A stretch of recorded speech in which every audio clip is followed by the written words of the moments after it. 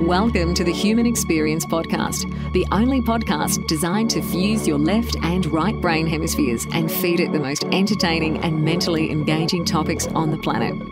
As we approach our ascent, please make sure your frontal, temporal, and occipital lobes are in their full upright position. As you take your seat of consciousness, relax your senses and allow us to take you on a journey. We are the Intimate Strangers. Thank you for listening.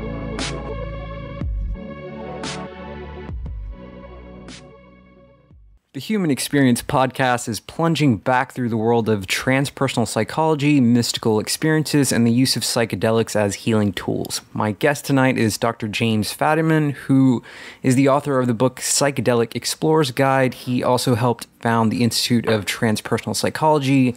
Jim, welcome to the program. Thank you very much. It's a great pleasure to be here. So let's just start this with a big disclaimer that we don't advocate the use of drugs or illegal behavior, and the use of these compounds should be regarded as highly sacred. Sounds, I'll go for that disclaimer. okay. So, Jim, you're highly educated. If you could just detail that for our listening audience to begin this conversation, I think that would be helpful to credential what we're discussing. Sure, sure. My, my credentials are that I was a Harvard undergraduate and uh, my favorite professor turned out to be someone named Richard Alpert, who later became Ram Dass. And I was, after college, I was actually living in Europe and trying to stay there as long as possible. And my draft board wrote and said, Would you like to join us in Vietnam, or have you considered graduate school? So I went to graduate school at Stanford and did a dissertation about the effectiveness of psychedelic therapy. Um, then I have had a very checkered career since then, since I was told that if I did a dissertation on psychedelic therapy, I would never have a normal academic career, mm. and so far, so good. yeah. So, um, you know, your book was very intriguing, and there's a part in it, and the year is 1961. You're in mm-hmm. the city of Paris. Right. And you're sitting next to Richard Alpert, aka Ram Dass, the highly revered Ram Dass, and you're under the influence of mushrooms. Yeah. So how did how did that take place, and what was happening? well, I was living in Paris, and I was completing a remarkably bad novel, which I thought was a remarkably good novel. and my professor, Richard Alpert, passed through Paris on his way to Copenhagen, where he would meet with Timothy Leary and Aldous Huxley, and they would be presenting for the first time some of the Harvard research at an international psychological conference.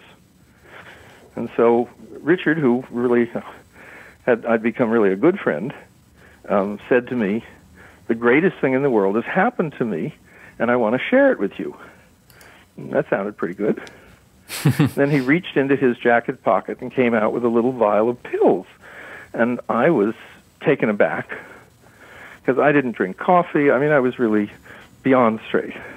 Yeah. And I looked at the pills and I thought words that we can't say on radio. And and he then I took them. and we sat on a little cafe on the sidewalk in Paris. And gradually, uh, things began to feel very bright and very colorful.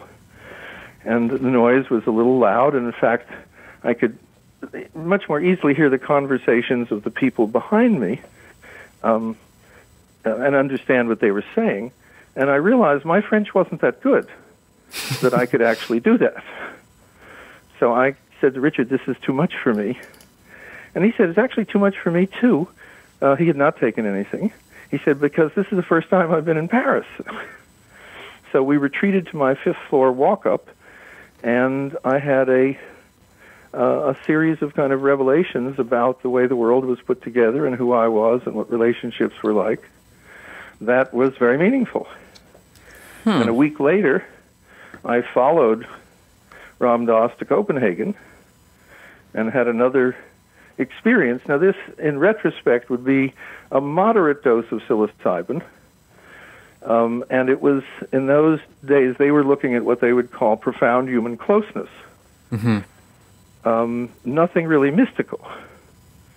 And so uh, life went on, and I ended up at Stanford and met with a group who were working with LSD there, and um, took a, a, much deeper plunge into psychedelic uh, expansion of reality. Yeah, that's that's very interesting. So that would you say that that was how your interest in psychedelics began? Yeah, I had zero interest, zero knowledge, zero experience, and the whole world of altered states really didn't exist. Um, certainly for people like me. Hmm. So you were so, as straight so, as so you were LSD straight edge. Had been around. I'm, hmm? You were straight edge. You were as uh, yeah. You... I was. I was a kind of neurotic intellectual, such as Harvard could very easily produce, and I was very um, aware that being intelligent was probably the only uh, really interesting value. So how would you say how would you say that that experience changed you? well, everything I just said, I think, is nonsense about the way human beings are, um, which is it alerted me to, to at the first level. I found that being that other people really mattered, and that uh, my being kind of smart and arrogant mainly kept me away from people.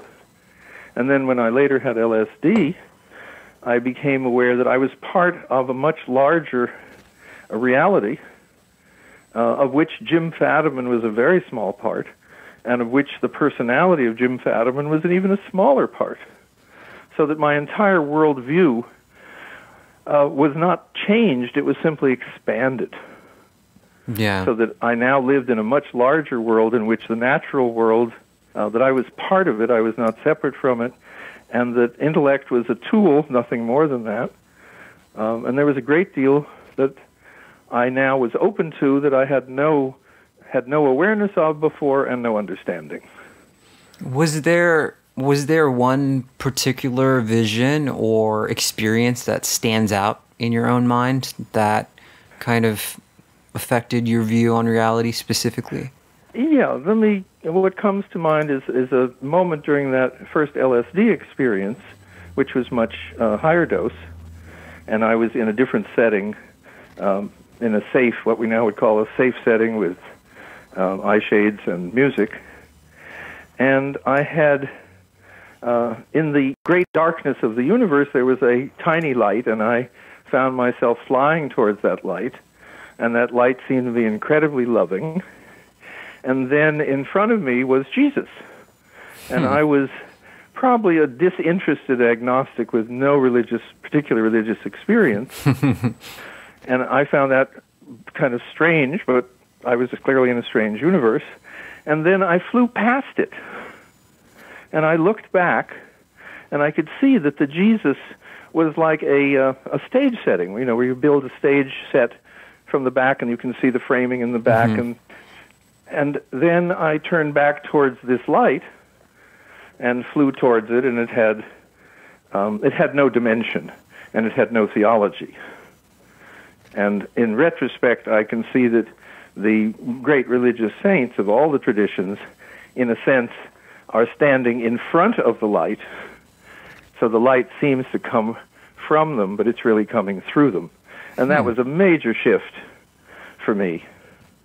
Um, even though the, the next day I was still a graduate student in psychology at Stanford, um, and no one else in the department had much interest in my worldview one way or another. In your book, you talk about this first, second, and third wave. I mean, are we are we still within this third wave of explorers and researchers? Well, if if I'm a member of the third wave, probably there's a fourth and fifth wave. Right.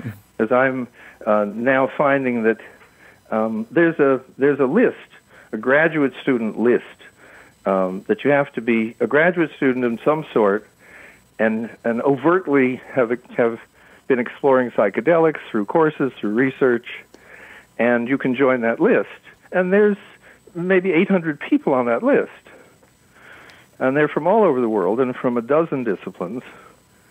And so we're really seeing the the kind of expansion of of that it's okay to be deeply interested in these substances and what they do, and still be part of the uh, dominant scientific culture. So this is very much not um, kind of hippies in New Mexico in a commune, which I've already, which I also did, but really that the culture is now loosening up enough to accept that there is a proliferation of people with psychedelic interests, um, of which your podcast is, is just another example. I mean, the 60s must have been such an interesting time. Even now, I mean, if you, as you look at the shift and the people who are kind of waking up to how therapeutic this can be and how these compounds can really affect and change your lives for the better. It really makes you wonder where we will be in 10 years, 20 years. Well, the 60s had one major difference, which is we saw that since we represented truth, life, goodness, love, health food, etc., that it was only a matter of time before the world immediately caught on to what we were doing and stopped doing things that were bad for the world now it's very hard to be optimistic about the future in the large sense. And the psychedelics are more like trying to save us from the overwhelming kind of forces of, you know, inequality and climate change. Um, so there's a braver kind of new generation coming up. But fortunately, there's a lot of them, and when they hold hands, they form a big group the heart of the Occupy movement, there were lots and lots of people with serious psychedelic experience, for example. I really feel like your book is kind of the first of its its kind in that I mean outside of groups like Erowid, I mean you don't right. really see people writing about and at the sake of their careers eh, they're afraid to really talk about this and and your book writes down how to prepare yourself and how to guide someone who is in the midst of this bending experience. I mean, it can well, really the, change you. Well, the thing that, that people forget in the research world is everybody else. And so if I'm talking to a group of four or five hundred people, and I'll say, how many of you are going to be in a research study with a psychedelic next year? And maybe one hand will go up and I say, how many of you are going to use the psychedelic next year? and, you know, 400 hands go up. So my book is written for the 400, which says if you're going to use psychedelics, probably, given how powerful they are and how valuable and how important, you'd probably like to do it with maximum benefit and minimum risk. And so the first few chapters of the book are entirely that. Um, and that was really the my impetus for the whole thing, which was what would be helpful if we're going to do it anyway. You know, it's it's funny because and going back to the risk of you know your career by talking about this, and I'll you know as as I'm running this podcast and I'm I'm inviting people to be on the show, and if you look at my previous guests, and you know some people will reply and they're just like, no, thank you. and, you know, the vibe that I get is, well, you know, I, I just, I don't want to, at the risk of my career, be well, on your podcast. Also, in a, in a kinder way, um, a number of the people who are doing research, who you've probably asked, um, they are being, um, they need federal approval, they need state approval, they need university approval, they need department approval there's something called an IRB, an institutional review board that universities have to look at all research. So there's an awful lot of people that are giving them permission who are a little nervous. Hmm. So they don't want to go onto a show like yours and talk much beyond what their research is because they don't want their research to be stopped. Right. By by one frightened alumnus you know, who phones the university and says, I gave you half a football stadium, now you're going to use these dreadful drugs, I don't want to give you any more money. yeah, that definitely so, puts so it. So, in a real sense, they're not frightened, but they are still dealing with a bureaucracy that has not caught up with the culture. I think you can see it so easily with marijuana research, which is it's obvious that marijuana has a lot of benefits, but it's very hard for the government to say, well, if that's true, we have to reschedule it, and if we reschedule it, we have to admit we've been wrong for, you know, decades. Yeah. And, that's hard. Yeah. I'm not affiliated, you know, in a formal way. I am part of um, the university I helped found, but at the moment I, I'm not teaching there. And uh, my own research, um, while I couldn't get it approved in a university because I'm not actually giving anyone any drugs. I'm asking a lot of people how they're using them in very specific ways. Um, but I understand very much people being a little nervous to be on on wide open shows like yours. Yeah, I mean, well, it's it's the human experience, and I like to cover a range of subjects. And Right. you know, we've had a scientist from CERN on, so and I and I really feel like these these medicines, I'd like to call them that, um, can really open doors to your psyche and help you help people with their traumas. But moving on here, um, is there is there a hero for you in the field of psychedelics? Oh my! I think I look up to some of my younger friends. Um, I think my probably my main hero would be like Alicia Danforth, who is doing the breakthrough research uh, with Charlie Grob, and they're working with people with high functioning autistic, uh, which was Asperger's. And it turns out that um, using psychedelics or MDMA, um, and MDMA in particular in this case, um, they can much more easily learn to be more sociable and basically have a much richer personal life. And Alicia is my hero because she worked at the edge of the field, decided that she wanted to be a clinician working with people, went back to school, got a PhD and a brilliant one, and then basically, um, with Charlie, said to the government, "We want to do a research project for people who are not mentally ill," and that's a whole breakthrough. Um, Roland Griffiths at, at John Hopkins is another hero.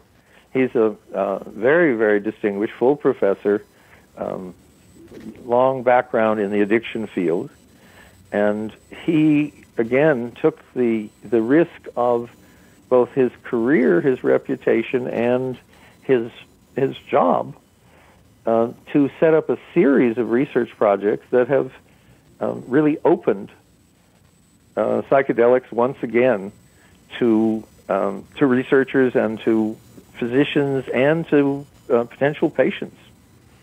And the other thing that, that Roland did is he also did a study on do these substances uh, encourage spiritual experience.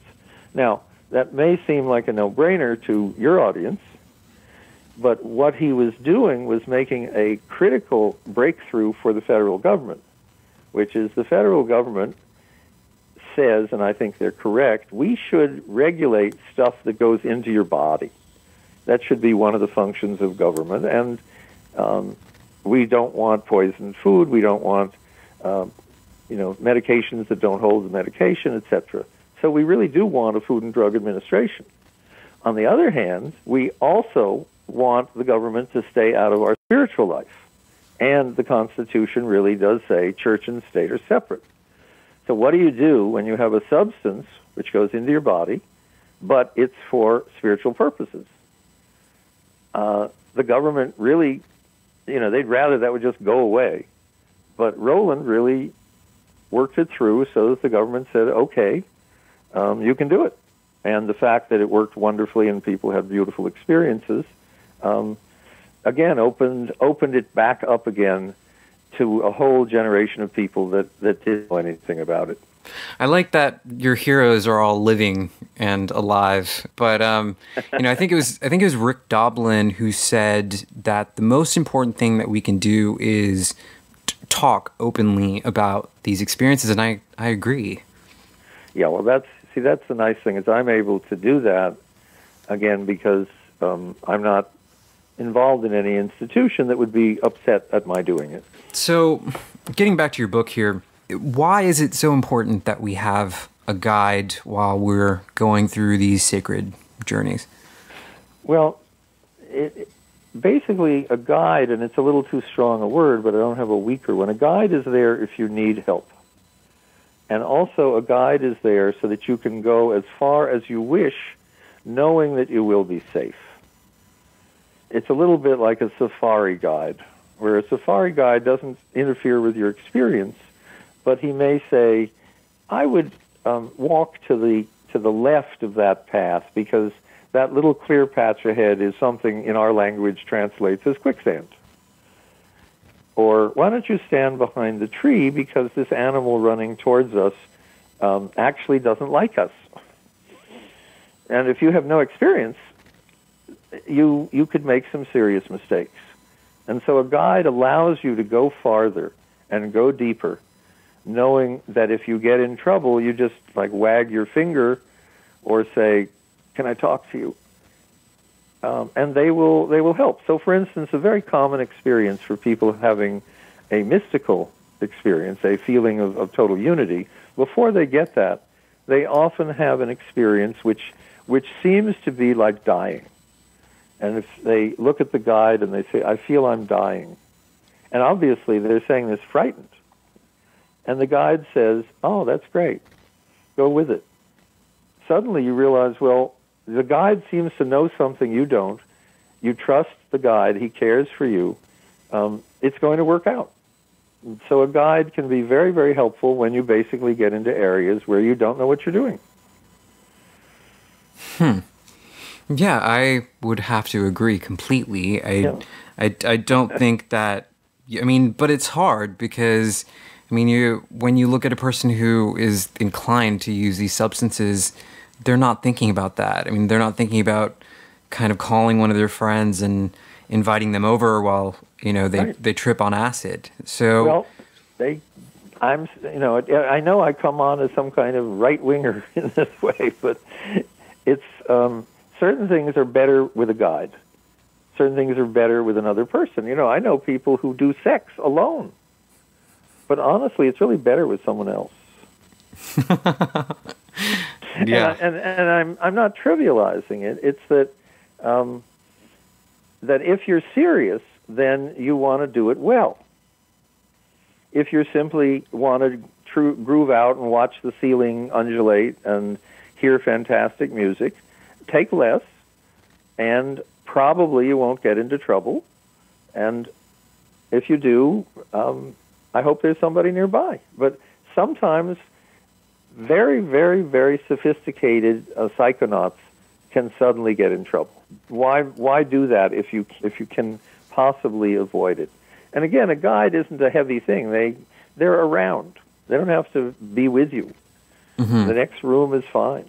That might the, be that might be a yeah. new employment opportunity. Is that's for sure. Hiring well, there people. there are people um, who can't wait for these drugs to be legal to help people who have mental difficulties, and so there are underground guides.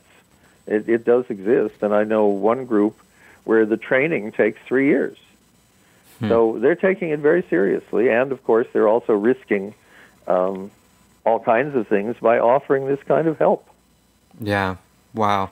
And do you think that this idea of having a guide is a sort of remedy for our own culture's lack of context for the use of psychedelics uh, as compared to maybe the ceremonies of these indigenous tribes or yeah well if we people? look at the at the rituals that have come from everywhere from ancient Greece to you know to Peru they're not nobody's alone and they have a guide they may call him a curandero an you know, uh, a vegetista, a, a, shaman, a priest. Um, even in meditation, people talk about meditation teachers or, you know, going to the zendo where you're meditating and there's somebody there. Uh, doesn't mean you can't meditate on your own, but there seems to be an inherent advantage on having somebody who's who knows more than you do. Um, and I don't, I don't, you know, it seems to me pretty obvious I'm not saying that people can't do things alone, um, but I do know, you know, I do know the advantages of somebody else. Yeah, I agree. Um, so, I mean, I, you get into in your book, you get into the various kind of dose frequencies or the dose levels, right. and how some doses can be sort of mystical experiences, and low dosages can sort of aid cognitive functions. Right. What what benefits do you think these low doses of psychedelics can bring, and what have you noticed Well- in your research? Well, let, let me go kind of down the doses fairly quickly, and I'll use LSD as a model because that's probably best known, which is around 400 micrograms is the area in which mystical experience is most likely to happen with a guide. If you go into 200, um, that's a kind of psychotherapeutic benefit where you can save yourself an awful lot of hours of therapy and do very intense personal work. But you're not losing, you're not going beyond your personality as you would in the higher dose. When you get down to around 100 micrograms, you can use that for highly technical, personal, you know, professional problem solving of a of a very ordinary nature in physics, architect, and then um, around 50 micrograms is what we would now call a concert dose. Uh, it says something about the culture change. It used to be called, by the way, a museum dose, and that's where you are having a wonderful time tripping, but you're not going um, you're not going to have uh, much insight or difficulty. Uh, and you should have, if not a guide, at least a designated driver uh, to get people home from, say, a concert. At 10 micrograms, which is a microdose, that's a, that's a whole new area that we're just exploring where things, you just seem to function a little better. You're a little healthier, a little kinder, you can be creative a little longer. Um, and so that's like improved functioning um, without any of the uh, without any of the visual excitement. So that's that's a quick run through the doses. Now, did I did I get your question along the lines? Yeah, a bit, but I'd like to get into it a bit more. I mean, I think it was I think it was Francis Crick who uh, discovered the the double helix in DNA, and he later admitted that he was low dosing LSD with him and his friends at uh, Cambridge. Right. I mean, how can we how can we use this to help us every day? Well, um, he was dosing with his friends in Cambridge actually after that time in his life. And although my book gives him gives psychedelics credit for the double helix, I've been chastised by some of my other research friends who say that only appeared in one newspaper article and it was never verified, and his best friends say he didn't take LSD until later. So let's put, however, the question of how can you use it, and, and when they were taking LSD in Cambridge, that was definitely not a daily event, and they weren't working on science, I don't think, much during that time. Um, for daily use, and again, uh, you can't take psychedelics daily. Uh, they're, what, what uh, Albert Hofmann, the, the developer of LSD, said they have anti addicting properties. They're a peculiar class of substances where if you take 100 mics on Monday, you'll have a certain effect. If you take 100 mics on Tuesday, you'll have much less effect. And if you take it on Wednesday, nothing happens. Now, that isn't necessarily physiological, but it's as if your system says, I don't need any more of whatever that is for a while, and I and I will not um, I will not make use of it if you put it in my system. So even with microdoses, taking them once every third day is more effective than taking them every second day or every day. I mean, you mentioned that psychedelics, like any other drug, may not be for everyone. And I mean, Definitely, definitely. there are variations in body chemistry. I mean, How how do we acknowledge that, and how do we reference that? Well, one way is when people say to me, and they often do, you know, I'd really like to take LSD, but, and I say, don't take it. And they say, well, wait, wait, I haven't told you my reason. I said, any reason is a good reason from my point of view. If it feels like it's not a good idea, don't do it. That's one group. Then people who, again, the reason why you have a guide is people who have a very fragile ego structure um, may get in trouble if they take a psychedelic. It's not for them. So this is this is it's a little bit like uh, flying a private plane. Anyone can learn to do it, but for some people, they'll always be anxious and nervous, and it'd be uncomfortable, and it's no fun. And why should they do that? So I'm very much not. Let's put it in the drinking water. I am saying, and I think Shulgin says it is know what you're taking and know who you are, and that will be the best information you can get. So if it feels like this is not a good idea, don't do it. Um, and when I've asked hundreds of people, have you ever taken psychedelics for social pressure? The answer is almost never. So people do seem to have a fairly good idea of that it's when it's not a good idea. And if they have it once and they have a very bad experience, that's probably a hint that it's either the wrong um, substance for them or it's the wrong time in their life.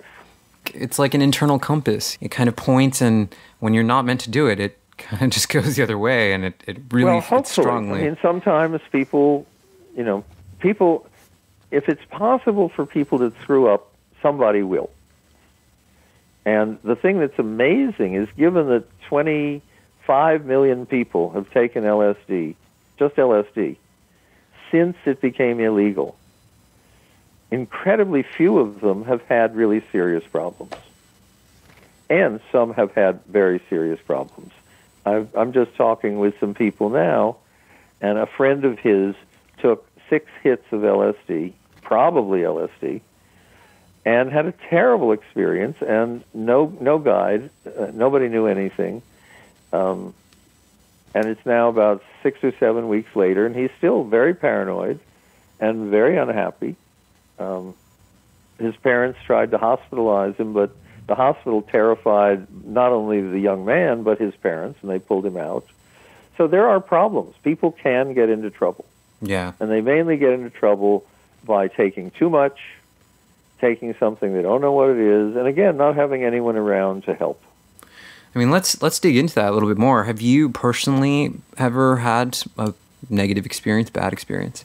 Um, I've had a yeah, I'd say I've had a negative experience, um, but I was aware that it was a negative experience, meaning I didn't get caught in it. Can you um, share? What, what was it? Uh, it well, it, it, you know, I don't remember much of it, but it wasn't very interesting and I was kind of suffering uh, whatever I was suffering, and my wife, uh, who had also taken a psychedelic, came over to me, and I said, um, "Don't worry, I'll be better. Just take care of yourself." And she went out and had a wonderful, wonderful experience, and came back a few hours later. And it's like when you've eaten something, and then you have uh, food poisoning. If you know it's food poisoning, awful, but it's not scary if you don't know, you know, if you didn't know that you ate anything and you had no idea what was going on, and you didn't know whether it was something much more serious, then and there was no one to talk to, that's very different. So again, how a, um, the people at Burning Man are very good about this because they work with people that have all un- unbelievably awful trips, but when they get into the hands of the Burning Man um, helper staff, what people say is we don't ever bring anyone down, we bring them through, mm-hmm. which is we take where they are in the bad trip and we begin to guide them back towards their own center. And everyone's center is, is intrinsically healthy, including if you're very, very mentally disturbed, your center is still healthy. Um, I remember a friend of mine once who phoned me, and she was very frightened. She was very against going to physicians and she was hemorrhaging very badly. Mm. And she was very frightened. And then in the middle of it, as she was kind of weeping and screaming, uh, she came in a little different voice and said, Don't worry, I'll be all right. And I realized that was a different part of her who understood that she was hemorrhaging, but it wasn't really that dangerous, and so forth. And there was a part of her that was totally calm, totally clear, and totally uh, able to function if necessary. You know, I think if we moved more into this decriminalization, it, this would let, be less common. I think it would be just yeah. the paranoia around acquiring these substances and and doing them because they're illegal. That alone is scary enough to not want to do them, and yeah, I think that's well, a big part of it. It being illegal is a bad part of set and setting. And being unsure of what you've gotten is a bad part of set and setting. And there's some really bad stuff out there that's sold as other stuff. Um, there's a whole collection of things called N bombs, mm. which um, are often sold as LSD, but the the the, the dose that will get you in serious trouble is only two or three times the dose that people like. With LSD, let's say you, for most people, this if you take a, a, a big amount, usually you'll, you'll just have um, you'll be knocked out. You might still be fine. So the young man I spoke of earlier, I don't know that he took LSD. He might have taken something, uh, one of the N bombs, and got in trouble. Mm-hmm. So obviously, it's like in prohibition. In prohibition, there was there was called there was, you know, you could get very good, well distilled spirits that were good for you, or had nothing else in them but you know but alcohol and flavoring, or you could get um, things that were very bad for you and dangerous and would kill you. Yeah. Because um, that which is illegal cannot be regulated, cannot be measured, cannot be you know doled out. It's like if you go to a marijuana dispensary, you pretty well know what you're being given these days because we are regulating it. It's interesting that these substances affect not only the mind but the spirit as well and a big thread through your writings is the concept of how humans are connected and woven right. into this sort of existence of everything around them how do you think that plays into all of this well to me it's the fundamental realization that um, that you cannot be separate and once you have it, it's pretty obvious. I mean, here I'm standing on a rug that's on some wood that connects to the earth um, through a foundation. Um, I don't think that way, but but I, it's true. I'm actually being held up by a whole lot of, of things that I've had nothing to do with, but they're part of my system. So that there, the the implication of using psychedelics and what I've seen is, is people who just take concert doses, what they tell me is eventually, they say, eventually, you know, I, I realize I'm just not as neurotic. I'm not as frightened of people. I'm, I'm easier to be with.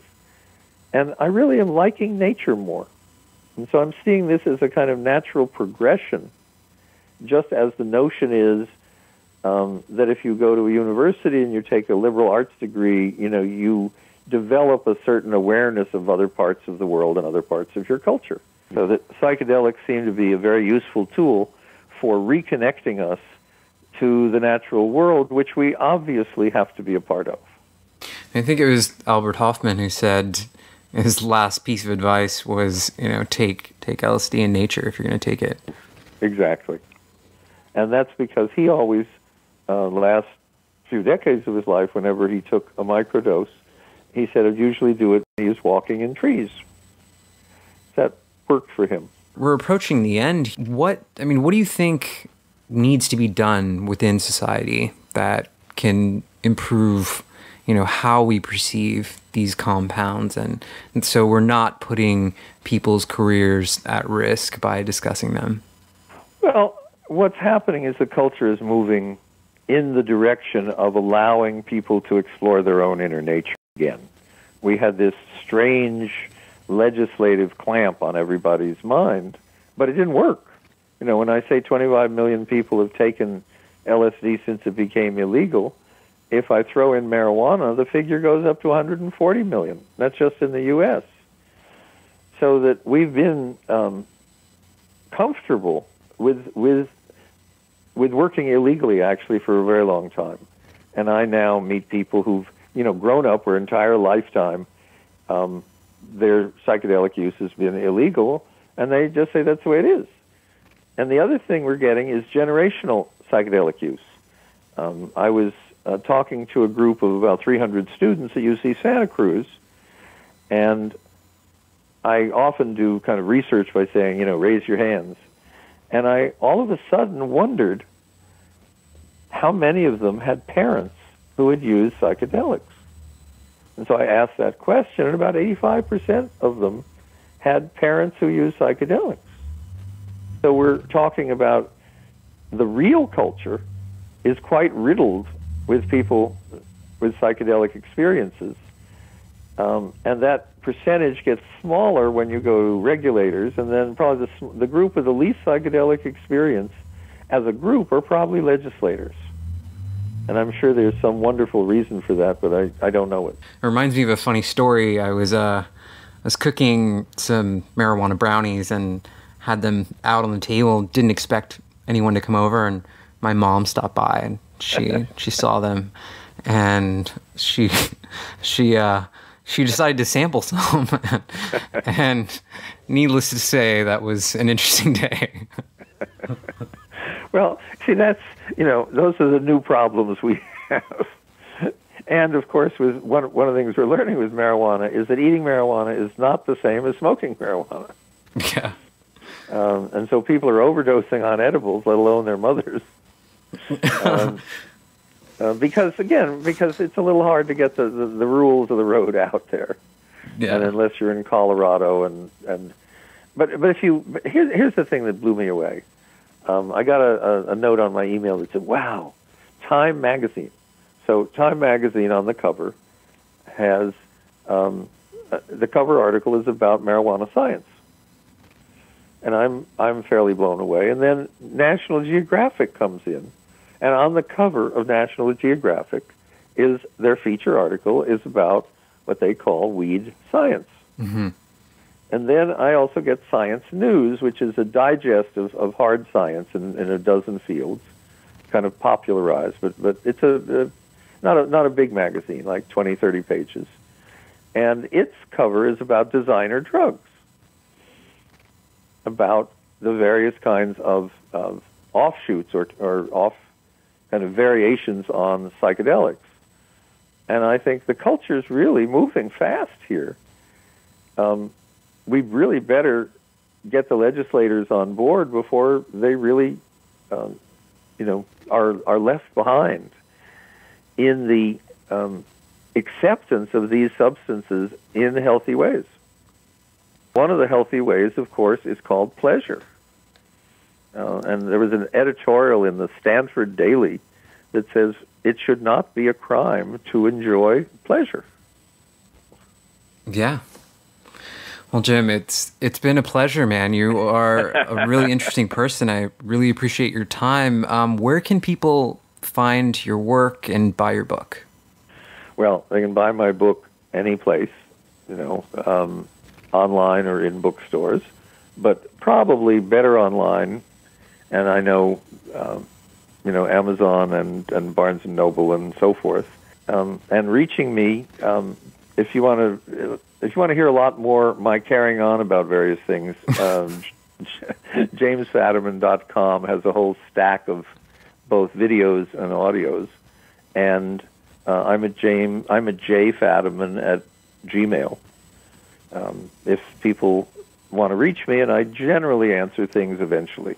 Ooh, putting your email out there. Okay, I respect well, that. Well, it's it's. I do that mainly because people who are interested in microdosing uh, sometimes write and say, "Do you have a? Do you recommend a way of doing it?" Uh, sometimes people write me and say, "Hi, I'd like to do microdosing. Please send me illegal drugs in the mail."